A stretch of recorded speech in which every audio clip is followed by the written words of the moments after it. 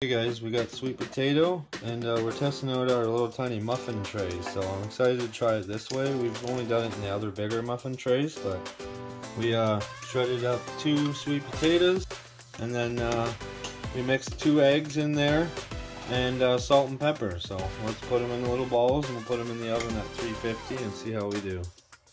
Alright, let's put them in the oven with the bacon. Here we go. Alright, there they are. They're delicious.